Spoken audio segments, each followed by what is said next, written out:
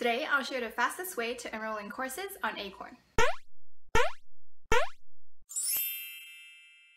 Everyone, welcome back to another episode of UofT 101. If this is your first time here, my name is Kim and I'm an upper year student studying life sciences at the University of Toronto. This episode will be split into two videos because currently some enrollment features on Acorn are still disabled. In other words, I might not be able to show you everything about course enrollment in just one video. However, I still want to give you what I have now and put this video up early to benefit my subscribers. Hopefully this video will help you guys feel more confident and less stressed about course enrollment. Part 2 will be available in the next few days, so make sure you subscribe to my channel if you don't want to miss out on future content. And of course, the best way to support me is to like and share this video. Feel free to comment down below if you have any questions. Without further ado, let's get started!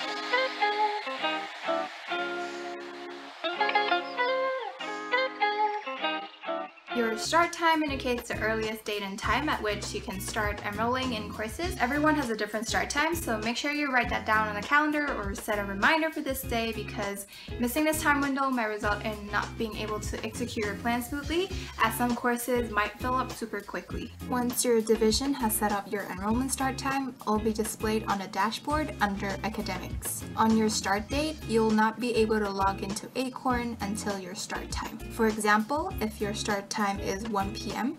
That's the earliest you can access Acorn on that day. However, you will be able to log into Acorn anytime after the start date. At this point, you've probably figured out what courses you'll take this year. If you're new to U of T and you're choosing courses for the first time, I made a tutorial that will guide you through how I select courses every year.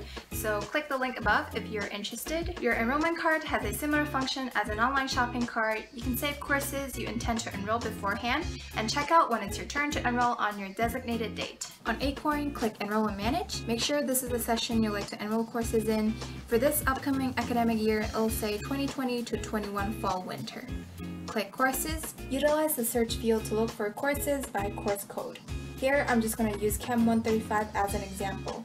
Click on the course you'd like to enroll in. Some semester courses are offered in both fall and winter session, so pay attention to which semester you're choosing. On this pop-up screen, select your desired lecture section and any other required sections such as tutorials or practicals.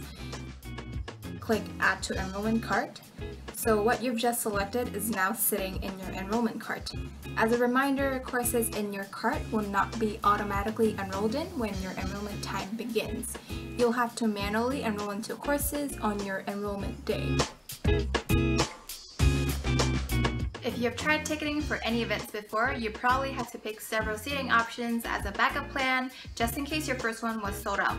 Same goes to course enrollment. It's all about speed and tactics. Well, maybe some luck. Smaller classes such as tutorials and practicals can fill up super quickly. You need to know exactly what you're gonna do if a course or a specific section of the course is full when it comes to your turn to enroll. Whether that's putting yourself on the waitlist or jumping to another course or section, whatever that is, come up with a plan. If you can't get into your first option, figure out what is the next best lecture section, tutorial, or practical section prior to your enrollment date. That way, you don't have to find out about course conflicts or other problems on the spot.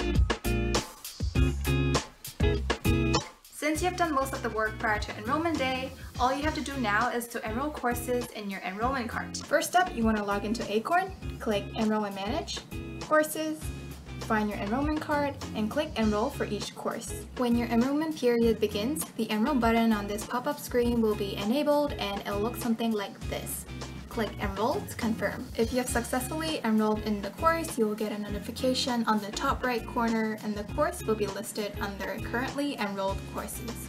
Don't leave this video just yet because I'm going to share tips I have regarding course enrollment with you guys. Tip number one, enroll smaller class first. When enrollment begins, the first thing you should do is to enroll in courses with fewer space, that way you can secure your spot as soon as possible. Tip number two, if the class is full, add yourself to the waitlist. Earlier you add yourself to the waitlist, you'll be placed at a higher ranking on the waitlist for that course. Tip number three, if you change your mind later and want to switch course section, click this pencil thingy of the section you want to change. On this pop-up screen, choose the section you'd like to switch to.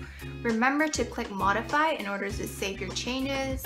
Again, you'll get a notification if you have successfully switched to your desired section and changes will be reflected on this page as well. As you can see, the execution aspect is pretty easy as long as you plan ahead of time and have a contingency plan. Anyways, that's the end of today's video. I'll make sure to upload part 2 as soon as my enrollment period becomes active. Don't forget to like and share this video and subscribe for more content from my channel. Stay safe and connected and I'll see you in my next video. Bye!